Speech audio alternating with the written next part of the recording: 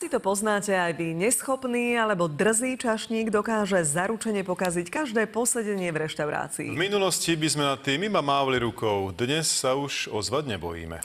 A práve vďaka tomu sa podľa aktuálneho prieskumu správanie obsluhy na Slovensku zlepšuje.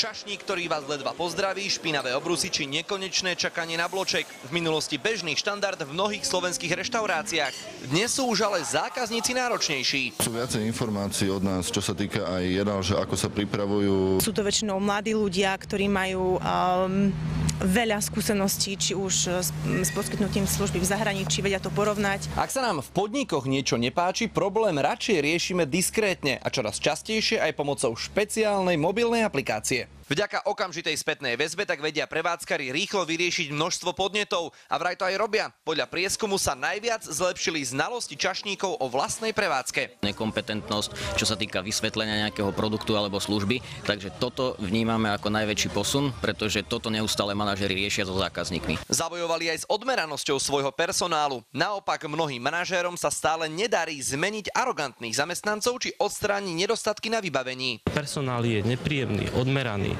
alebo má zlú náladu, to už človeka odradí od ďalšej návštevy. Momentálne ja som mamina, takže na- asi najviac mi prekáža, keď niekde deklarujú, že majú detský kútik a potom tam prídem a je to plastová stolička a nejaké omalovanky a to je všetko. Prieskum však ďalej ukazuje, že už nie sme len národom sťažovateľov a že dokážeme aj prepáčiť a odpustiť. Ak mali zlú skúsenosť, ale ten manažér tej danej prevádzky im úprimne, skromne vlastne odpíše, že sa to snaží riešiť s daným človekom e, v personále, tak ten zákazník príde, príde opäť a dá tomu podniku druhú šancu. Vždy je čo vylepšovať a treba si ešte sťažnosť vážiť. Viktor Vince, televízia.